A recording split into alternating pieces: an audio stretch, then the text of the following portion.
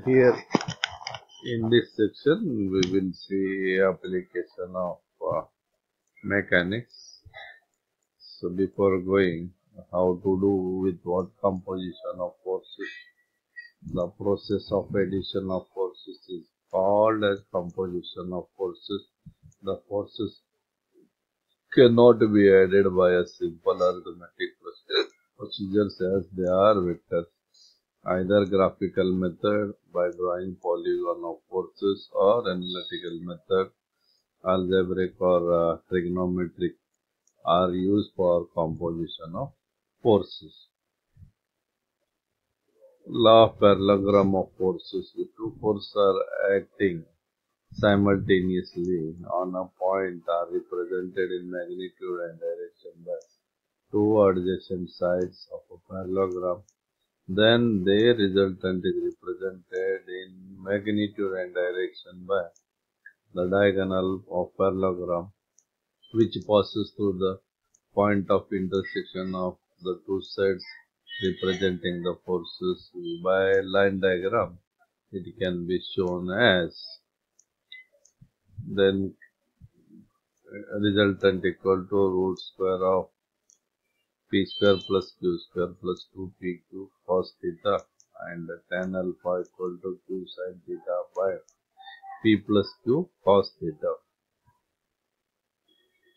Resolution of forces. The process of breaking the force into a number of components which are equivalent to the given forces is called resolution of force.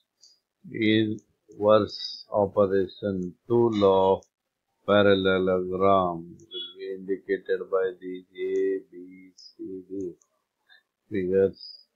Then the resolution of single force can have infinite number of components. This can be illustrated by a different problem, problem number 1, which is what to resolve the 100 Newton force acting at 30 degree to horizontal into two component, one along horizontal and other along 120 degree horizontal. This can be solved by method 1 by parallelogram of law. which is that 100 equal to root square of f1 square plus f2 square plus 2 f1 f2 cos 120 degree that is 10,000 equal to f1 square plus f2 square minus f1 f2 and tan theta equal to f2 sin 120 degree by f1 plus f2 cos 120 degree. That is equal to 0.5774 f1 minus 0.2887 f2 equal to 0.866 f2 that is equal to f1 equal to 2 f2 by solving equations 1 and 2 f1 equal to 11.5.47 newtons and f2 equal to 57.76 newtons